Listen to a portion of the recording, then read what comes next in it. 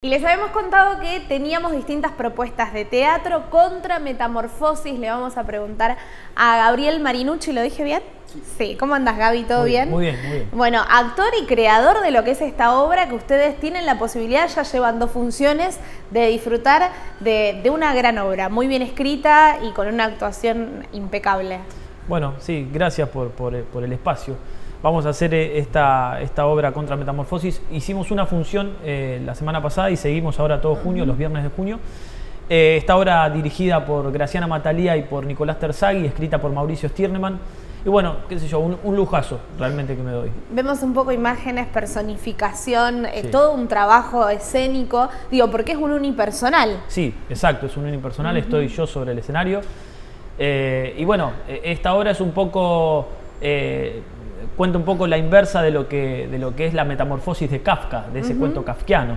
Eh, acá hay un bicho que se, se está empezando a, a convertir en humano, se empieza a dar cuenta de que toma forma de humano, entonces no quiere ser la oscuridad que somos y denuncia por qué no quiere ser humano. Y ahí empieza la tragedia, ¿no? ¿Cómo ocurre esta idea de, de llevarlo a, a un teatro que el público rosarino pueda disfrutar? Que somos muy teatreros de por sí, pero, pero ¿cómo llega el proyecto personal de, de querer hacerlo? Bueno, yo tengo una amistad muy grande con Mauricio Stirnemann, que es el, el dramaturgo. Y, y, bueno, él me dijo, escribí una obra para vos, para vos. O sea, eh, fue, fue así, directo.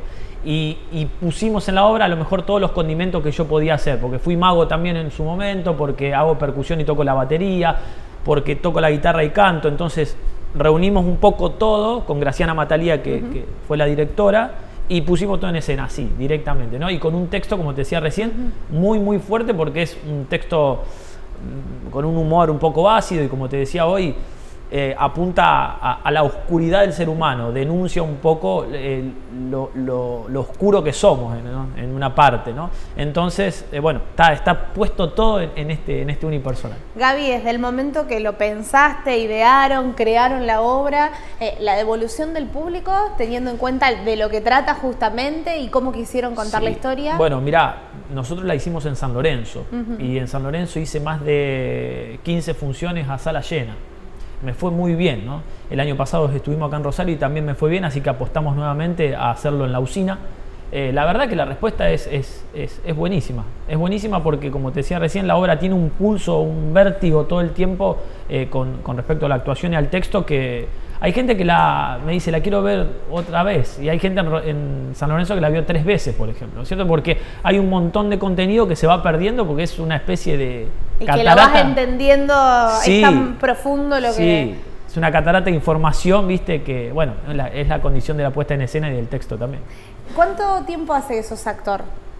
Que soy actor, yo creo que desde la escuela primaria. Y empecé Sí. a estudiar de, de- de manera profesional, si se quiere, cuando terminé la secundaria.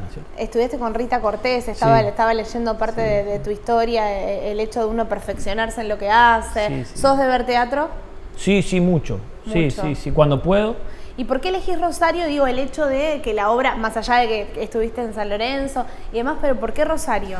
Porque Rosario es mi, es mi espacio también, yo laburé mucho acá. Laburé en la comedia municipal, tuve la oportunidad de hacer el casting y, y de, y de quedar ahí, laburé con Rita Cortés, acá hicimos maratón, eh, vengo a entrenar acá, entreno con Gustavo Guirado, o sea, eh, es mi- Rosario es mi espacio también, aunque uno no lo crea, San Lorenzo es cerquita, Está yo estoy a, media hora, estamos acá, ¿no sí, es sí, es departamento. Y te pregunto eh, también eh, sobre no solo la formación de lo que recibiste, sino también sos docente.